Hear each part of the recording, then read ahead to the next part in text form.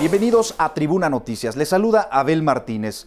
Durante esta semana les presentaré una serie de informaciones sobre el abuso de poder de algunas autoridades municipales de Puebla, sobre el desvío de recursos y el sistema de control político que representa la Auditoría Superior del Estado. En esta ocasión le informaremos cuántos millones de pesos no han podido comprobar presidentes municipales ante la Auditoría Superior de la Federación. Son cientos de millones.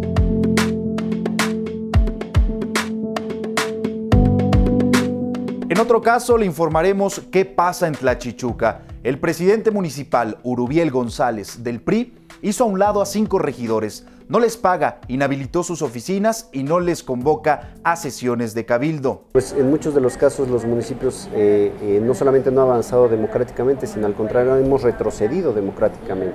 Tal es el caso de Tlachichuca, que pues parece, tristemente lo digo, pero bueno, pues un guion de, de la ley de Herodes, ¿no? un ejemplo vivo de lo que vimos en la película La ley de Herodes. Además, en Tlachichuca documentamos un caso grave de abuso de poder que derivó en violaciones a los derechos humanos de Filiberto Rodríguez, un transportista que fue agredido arbitrariamente por policías municipales. Me aventaron a la camioneta y me llevaron a la comandancia. También hablaremos de Álvaro Alatriste, quien ha hecho de todo para imponer su ley en Tehuacán. Juan Álvarez, quien fuera su mano derecha y hoy es regidor del PRI, revelará irregularidades en el uso de los recursos públicos. Ellos hubieran querido moverme, ¿sí? definitivamente quitarme. Sin en cambio el Congreso no lo aceptó. ¿sí? Donde yo no estoy de acuerdo es que queramos engañar a la gente. Por cierto, ¿usted sabe quién revisa las cuentas públicas municipales en Puebla? Es la Auditoría Superior del Estado, que cada año gasta más de 140 millones de pesos y que para muchos únicamente sirve como un sistema de control político. Si te portas mal, te sanciona. No somos tontos, eh, hay una acción deliberada de parte del gobierno del Estado. Es un garrote político, no le interesa si están bien o están mal. Eso es absolutamente irrelevante. ¿Te portaste bien o te portaste mal?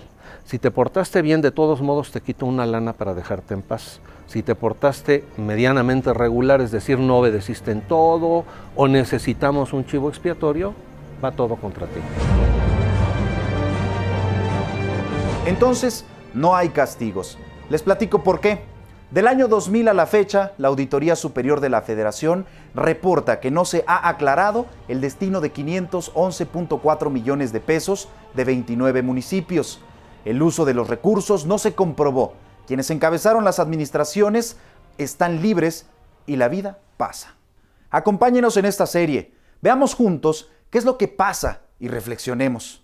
Por cierto, los reportajes completos puede consultarlos en www.tribunanoticias.mx.